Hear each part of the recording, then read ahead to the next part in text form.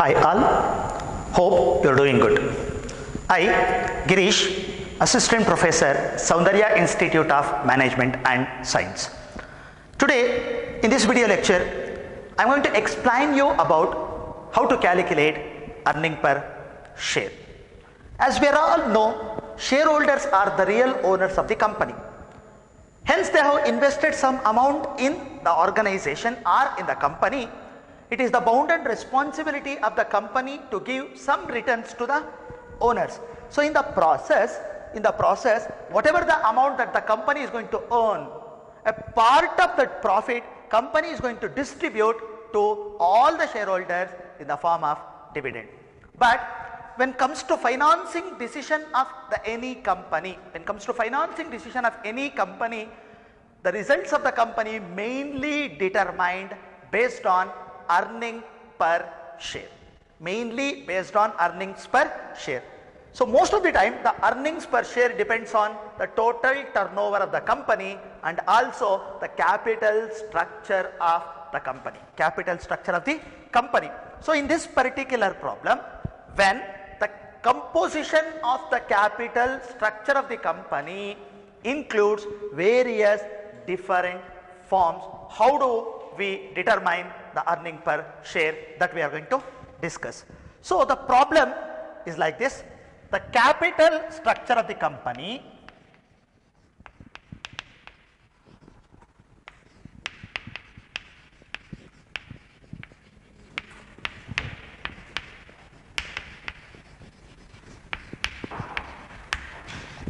the capital structure of the company consists of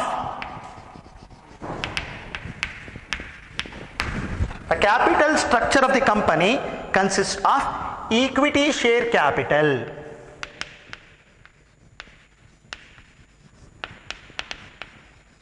Equity share capital of rupees 10 lakhs which is which is shares of rupees 10 each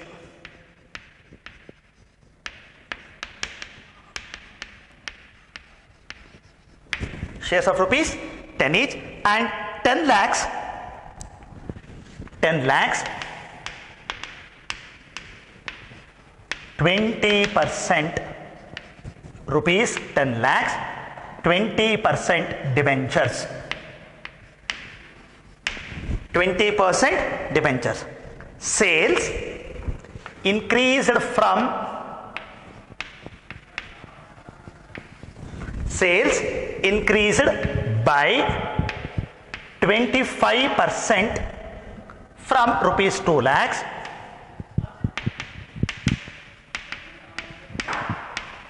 To rupees 2 lakh 50 thousand.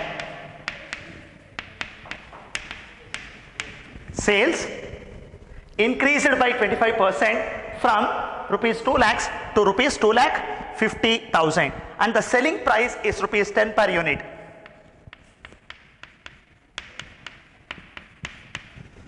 selling price is rupees 10 per unit. Variable cost amounts to rupees 6 per unit. Variable cost amount to rupees 6 per unit and fixed expenses rupees 2 lakh 50000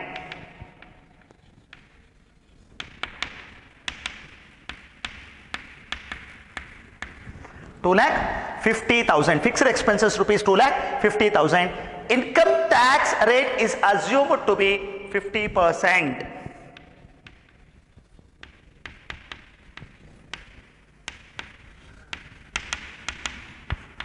Income tax rate is assumed to be 50 percent. You are required to calculate the following. You are required to calculate the following. Those are percentage increase in earning per share. Percentage increase in earning per share. First we need to calculate the percentage increase in earning per share. Second one degree of financial leverage.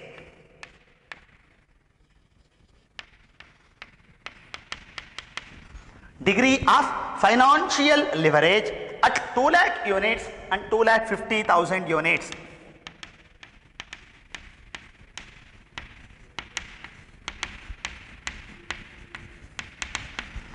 Degree of financial leverage at 2 lakhs and 2 lakh 50,000 units and third one degree of operating leverage.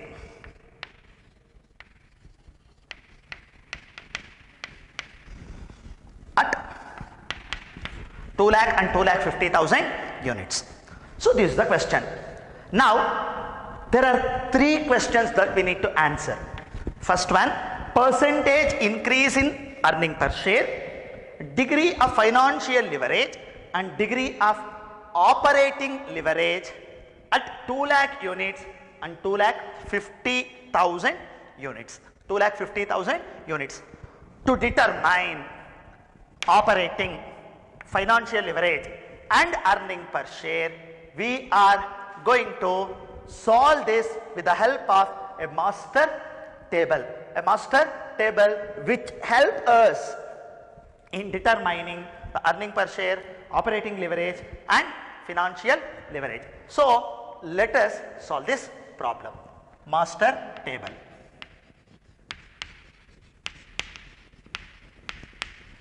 Master table. See, master table will help us as an indicator to find out the actual amount of profits earned by the company out of the sales made by the company out of the sales the entire amount of sales may not be the profit for the company but this particular master table helps us in determining the actual profits available at various level and various stakeholders of the company. So, normally the profits are determined on sales. But if you observe this particular problem clearly, the sales has been increased from 2 lakhs to 2 lakh 50,000 sales has been increased by 25 percent which is from 2 lakhs to 2 lakh 50,000 that means we need to find out the various profits at sales at 2 lakh units and sales at 2 lakh 50,000 units. Sales at 2 lakh units and sales at 2 lakh 50,000 units. So here particulars.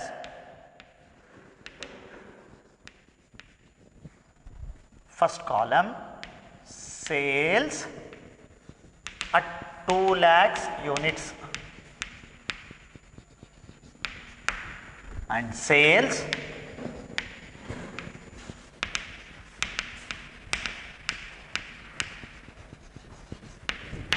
at 2 lakh 50,000 units. Sales at 2 lakh units and sales at 2 lakh 50,000 units. So first let us take sales. Sales. See, the selling price is rupees 10 per unit as per the informations given in the problem. Selling price is 10 per unit. If a company sells 2 lakh units, if a company sells 2 lakh units at rupees 10 per unit, then sales will be 20 lakhs. Here sales will be 25 lakhs 25 lakhs. Okay? Ah. see while preparing the master table we need to observe two things. The sales at 2 lakh units and sales at 2 lakh 50000 units. Because the profits are always determined based on the number of units sold by the company.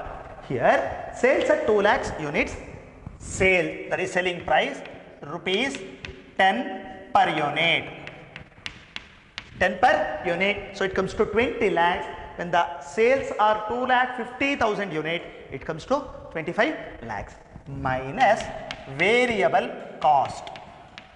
Variable cost. There are three types of cost. Fixed cost variable cost and semi variable cost. The variable costs are always having direct relationship with sales. As and when the number of units increased, the variable cost increases. Number of units decreased, the variable cost decreased. Here, variable cost is rupees 6 per unit, 6 per unit. So, 2 lakhs into 6, it comes to 12 lakhs. here 15 lakhs. 15 lakhs that is 2 lakh 50,000 into 6 per unit.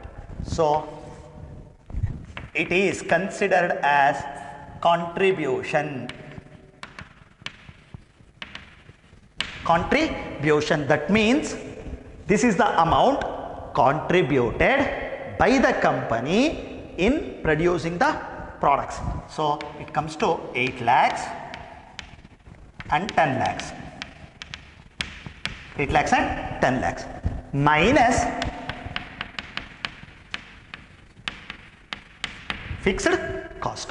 Fixed cost. Fixed cost remains constant irrespective of increase or decrease in the number of units sold. It remains constant.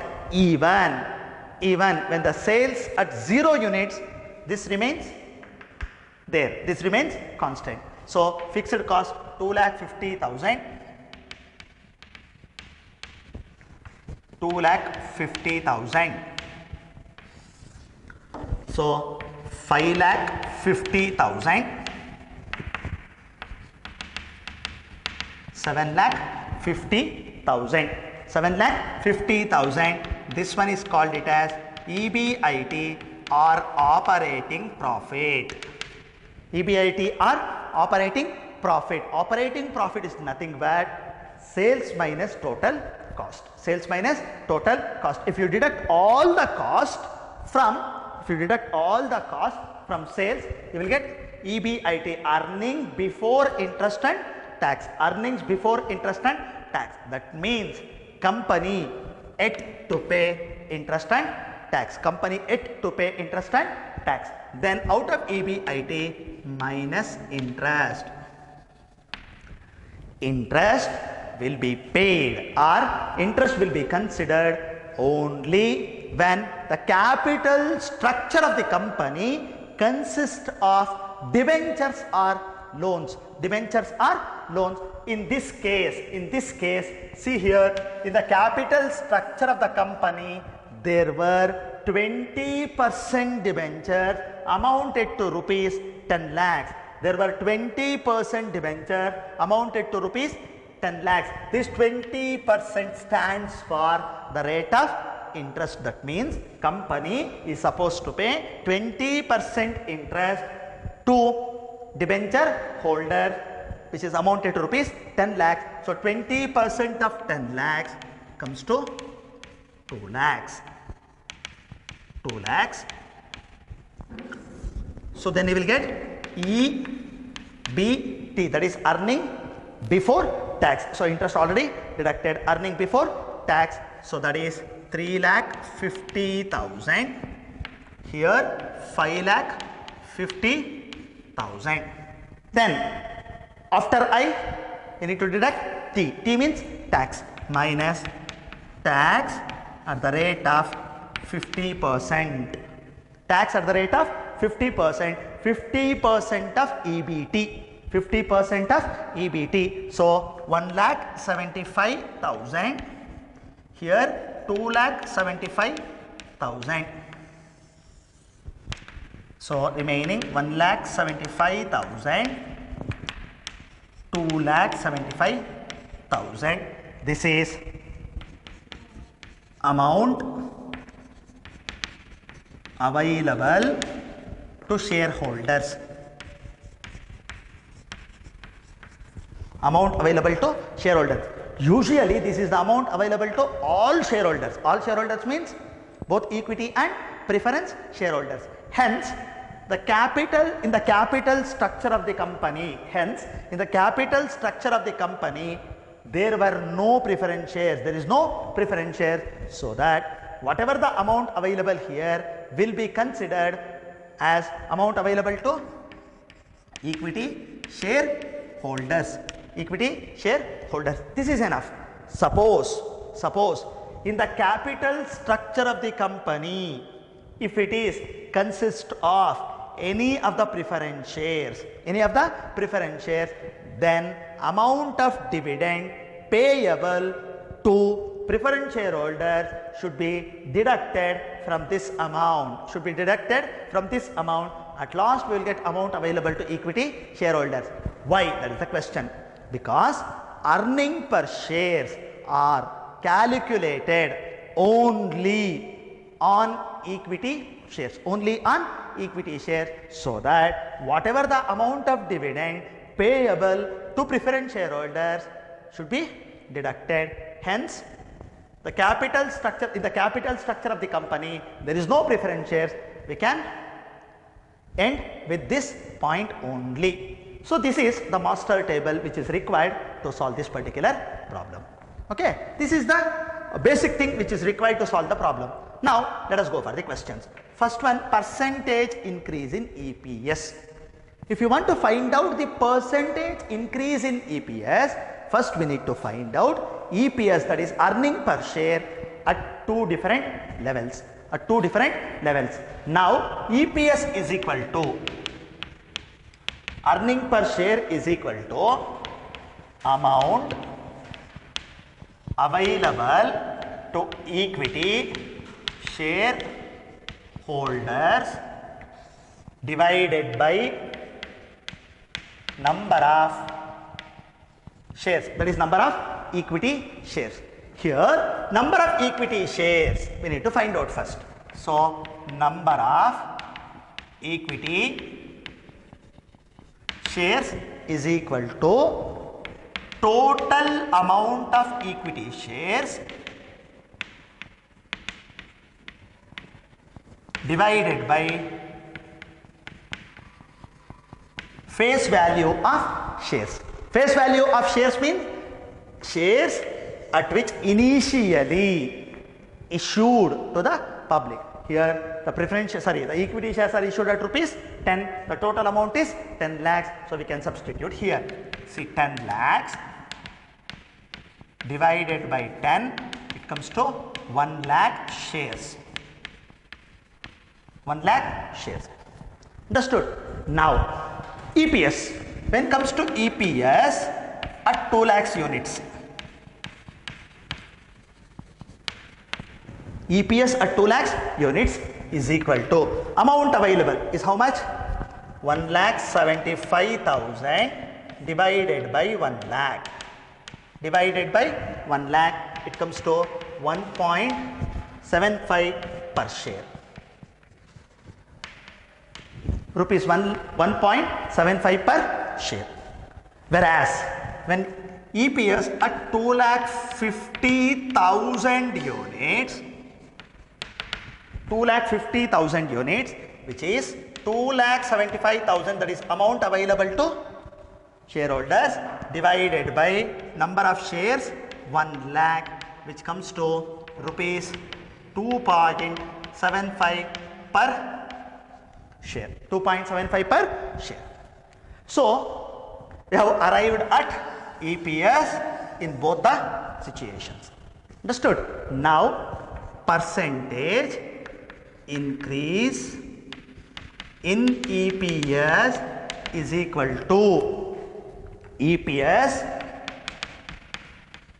at 2.50 that is 2 lakh 50,000 minus EPS at 2 lakhs sales at 2 lakhs divided by EPS at 2 lakh shares that is base. Now that is 2.75 minus 1.75 divided by 1.75. Understood? So 2.75 minus 1.75 divided by 1.75. Hence we need to calculate the percentage into 100. How much? How much we will get? So 2.75 minus 1.75 divided by 1.75 which comes to 57 percent. 57 percent. So that is the increase in EPS. That is the increase in EPS when sales increased to 2 lakh 50,000 from 2 lakhs. So this this fulfills the first question. When comes to second one financial leverage. So financial leverage is equal to financial leverage is equal to see financial leverage is equal to after determining the earning per share now let us let us go for the next question which is degree of financial leverage degree of financial leverage means financial leverage at 2 lakh units and financial leverage at 2 lakh 50,000 units. Financial leverage at 2 lakh units and financial leverage at 2 lakh 50,000 units. Financial leverage is equal to EBIT divided by EBT. Earning before interest and tax divided by earning before tax when it comes to financial leverage, I factor plays a very vital role. I means interest factor plays a very vital role. So that's why C EBIT divided by EBT. So when comes to sales at 2 lakhs, sales at 2 lakhs, it is EBIT 5 lakh 50 divided by 3 lakh 50,000. 5 lakh 50,000 divided by 3 lakh 50,000. See 5 lakh 50,000 divided by 3 lakh 50,000 it is 1.57 times 1.57 times 550 divided by 350 at 2 lakh 50,000 units see 2 lakh 50,000 units which is 7 lakh 50,000 divided by 5 lakh 50,000 7 lakh 50,000 divided by 5 lakh 50,000 which comes to 1.36 times. 1.36 times. So this is the degree of financial leverage. And last one operating leverage. Degree of operating leverage. That is operating leverage at 2 lakh units operating leverage at 2 lakh 50,000 units. Operating leverage is equal to contribution divided by EBIT contribution divided by EBIT. So when comes to 2 lakh units, first let us go for 2 lakhs units that is contribution.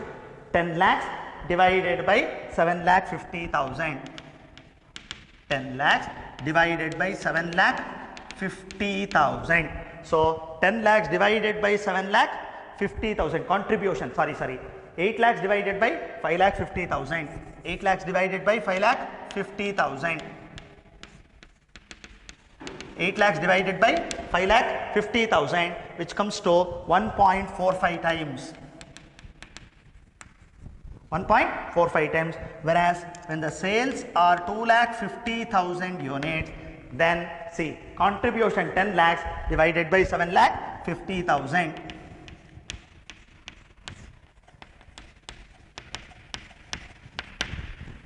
7 lakh 50,000 so which comes to 1.33 times.